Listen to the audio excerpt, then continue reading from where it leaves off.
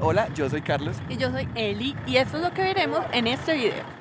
En este video les mostraremos el páramo de Santurbán en Santander, Colombia. Les contaremos cómo visitar este lugar y a qué se debe su importancia. Caminaremos hasta llegar a la laguna de Pajarito y a la laguna Las Calles y recorreremos el pueblo minero de Betas.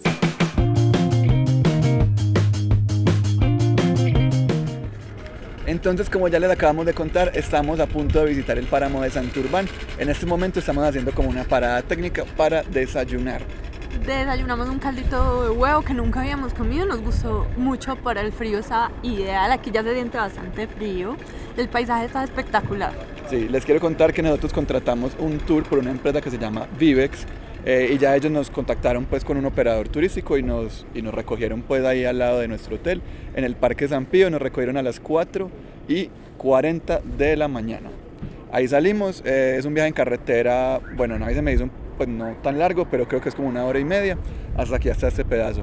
Eh, nos acaban de llamar aquí que nos van a dar una charla informativa porque no solamente vamos a visitar el páramo de Santurbán como por su belleza, sino también porque es bueno aprender sobre el páramo y porque es muy importante para Colombia.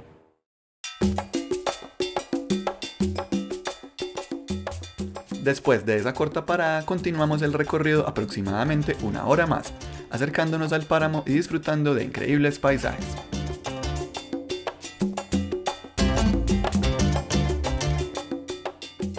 Comenzamos a caminar cuando llegamos al ingreso del sendero de la Laguna Pajaritos y la Laguna Las Calles en el municipio de Beta.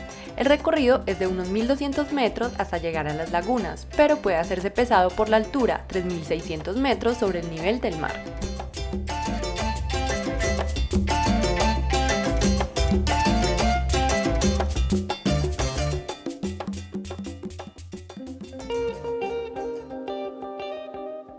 El páramo de Santurbán se encuentra entre los departamentos de Santander y Norte de Santander. Tiene una extensión aproximada de 142.000 hectáreas y una altura entre los 2.800 y 4.290 metros sobre el nivel del mar. Es uno de los lugares más importantes para la generación de agua en Colombia. Gracias a este ecosistema y a plantas como los frailejones, aquí la neblina se transforma en agua. Además, es un lugar lleno de biodiversidad tanto de plantas como de animales.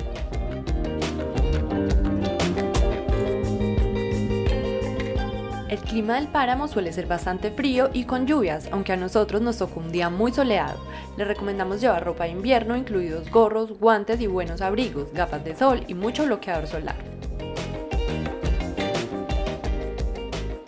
Bueno, espero que les esté gustando lo que les estamos mostrando porque está muy difícil grabar eh, por dos razones principalmente. Uno, pues porque venimos en grupo y la otra porque hay que caminar en fila más o menos la mitad del sendero. Entonces, como salirse de la fila y grabar no es tan sencillo. También por la altura, a veces se hace un poco pesada, aunque la caminata no es muy larga, se puede llegar a ser un poquito pesada. Ha estado súper chévere, las guías han estado muy geniales, son dos señoras de la zona. Si vienen, les recomendamos venir con guía y especialmente que sea alguien de acá, porque tienen la experiencia de haber vivido toda la vida por acá, les van a enseñar a respetar mucho este espacio con el que hay que tener mucho cuidado y también porque si vienen solos hay posibilidades de que se puedan perder.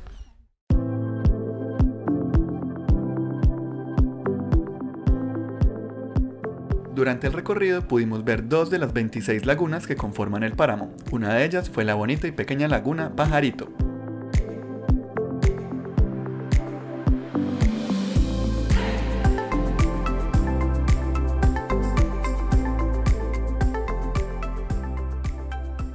Llegamos a nuestro destino final, aunque el recorrido va a seguir, pero esa era como la última parada. Sí, se llama Laguna de las Calles, es una laguna de un color bastante particular, ¿cierto? Es muy bonita. Sí, se ve que es bastante profunda y esa, a diferencia de la otra, es súper grande. Muy grande, y dicen que es muy, muy profunda nos dicen que no se puede meter, eh, que está prohibido, pero hay un niño por ahí que dijo que se podía, pero no, no lo hagan, creo que no es recomendado porque sí se ve como muy honda. Y de todas formas eh, debe estar el agua helada, porque aunque hoy nos tocó sol, ya se están poniendo las nubes y empieza a sentirse el viento mucho más frío. El lugar es espectacular, demasiado virgen, se ve una naturaleza muy diferente a la que uno está acostumbrado a ver, unas montañas de piedra enormes, es todo súper pacífico, un silencio inmenso.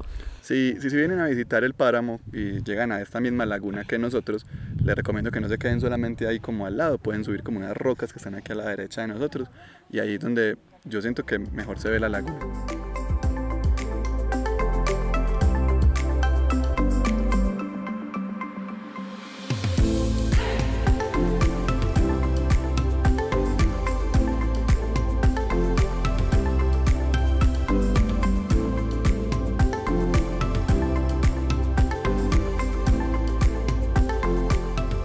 Mostrarles algo muy chévere. Aquí vemos la primera laguna que vimos más temprano y allá está la laguna que acabamos de ver. Miren, se ve muy, muy bacano.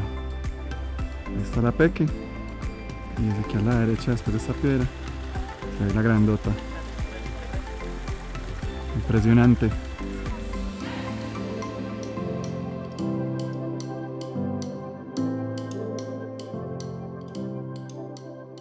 Algo que me pareció como un detalle chévere cuando llegamos allí a empezar el sendero era que nos dieron de esto, bocadillo beleño, muy tradicional aquí en Santander y uno de mis dulces preferidos de la vida. Entonces, punto para el tour. Acabamos de almorzar en un pueblito que se llama Betas y ahora nos van a llevar a hacer un pequeño recorrido por acá, nos van a llevar a un museo y luego a comernos una típica oblea. Este es un pueblo minero muy famoso por la extracción de oro bueno, en realidad muy famoso, no, no sabíamos que existía, pero eso es de lo que generalmente han vivido del oro y ahora un poco también del turismo.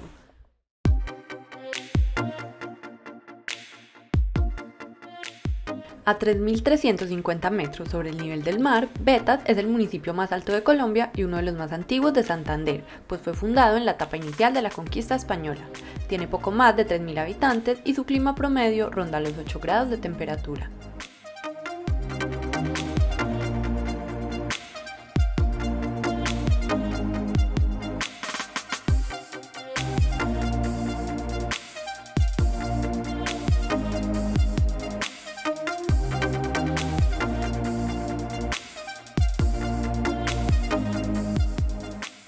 Para finalizar, visitamos el Museo de lo Cotidiano, una casa en la que es posible ver cientos de objetos del día a día ordenados por diferentes épocas, desde monedas, cuadros, ropa y juguetes hasta electrodomésticos y libros.